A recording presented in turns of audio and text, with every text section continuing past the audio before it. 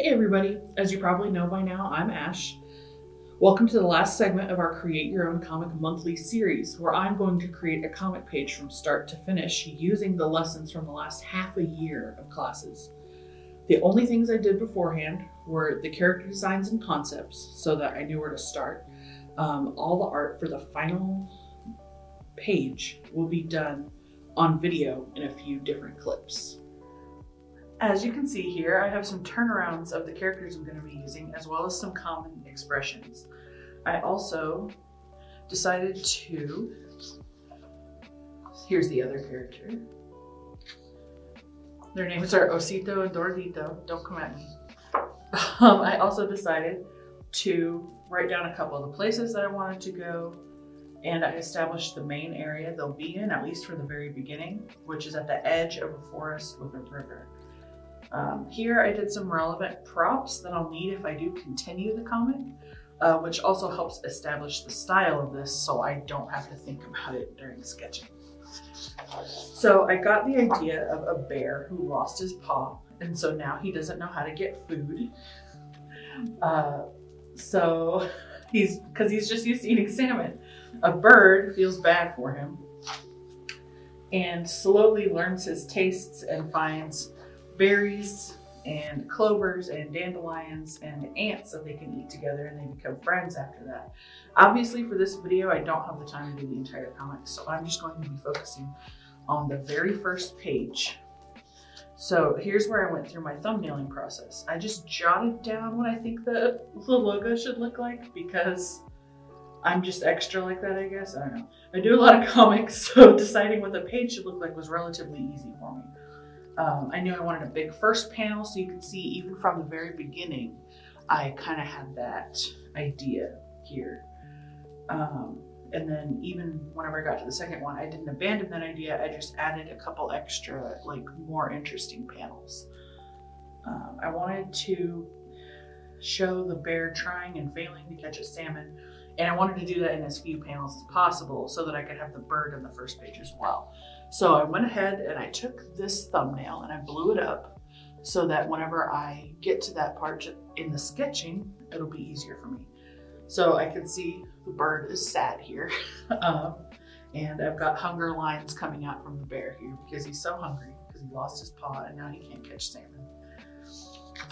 So, all that to say, I did a lot of stuff and now let's get going on the actual process. So that big first panel is probably going to take up about this much room. Yeah, somewhere like that. And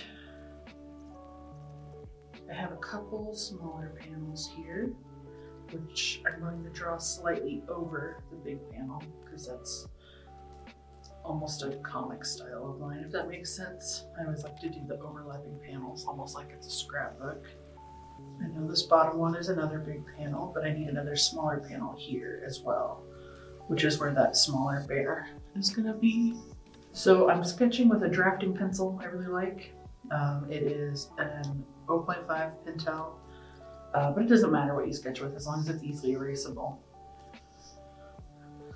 Obviously these panel lines aren't gonna be perfect because I'm just eyeballing it right now, but that's okay because you just kind of need to know where you're going. So I know there's gonna be a river here-ish. It's gonna come down like this. trying to keep the fluidity here. I know if I do decide to add in the logo, it'll be around this area. So I'm just kind of marking out this spot so that I know not to do anything over there. I know that he has a sort of a sigh here. And I can start sketching in little bear dude or Osito. Since I have these pages already, it's I don't have to make any character decisions while I'm going. I can just focus on sketching. But if you come up with an idea while you're sketching that you like better than your thumbnail, do it. You don't owe anybody anything. forgot I had a little panel right here. I'm gonna make sure to keep all the important information for this panel in that area there. Got bear trying to swipe the river here. He sees all those tasty salmon and he wants some, but he's having to balance himself on the missing paw, so just his arm. And he ends up tripping here. He's not used to it. And I want to make him a little smaller in this panel because I want to show that he looks kind of alone. I don't know where his family is. I don't know why this is so sad, but I'm an artist and I don't have to explain myself. And neither do you. And then here, I was going to make him look even lower because he's further away. Because he's just given up. He's gonna sleep. Gotta carve out the tree here, roughly in that area, so that I can draw. And with this, I have most of the main beats. So I'm gonna go ahead and start adding a few other things here and there. Like the fish, I could probably get that in panel in frame for you.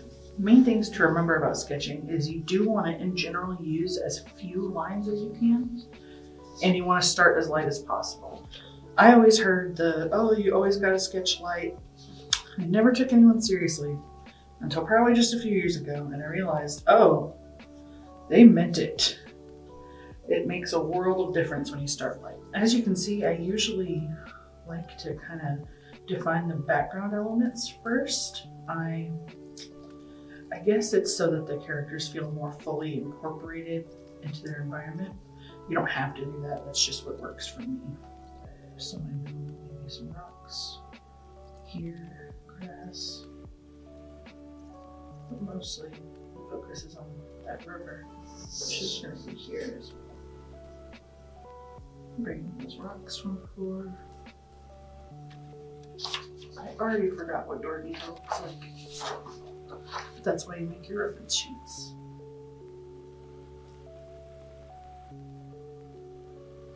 His character, I thought, was normally kind of a. angry is the right word, but it also is kind of the right word. Just normally doesn't care that much, but he sees this bear and has a lot of empathy. Just feels bad, wants to help now that I kind of know where all the background elements are, I'll work on defining the foreground elements a little bit more. Like I know I want his ears colored in. And he's got a big snout. And he's pretty fluffy. I'm a little tired. It's been, he's having a hard time. and nose. I'm make it look a little more determined here. Go ahead and get some of these fish a little more defined. They are pretty simple looking because I wanted the whole style to be relatively simple, but we still gotta get those simple lines on so that we know where to ink.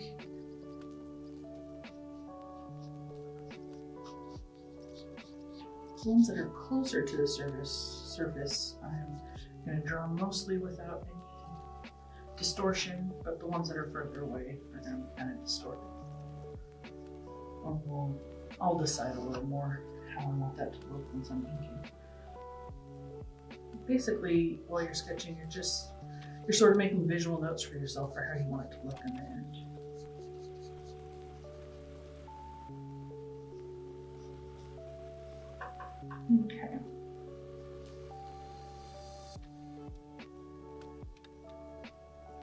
I'd say this is about sketched out now. Obviously I could go a little further. Um, but this, for me, I know is gonna be roughly enough to be able to ink. Uh, you might need a lot more guidance, that's fine. Um, sketch as much or as little as you want. Uh, usually at this point, I like to do something else for a while so I can come back and look at it with fresh eyes. make any touch-ups, and then continue inking.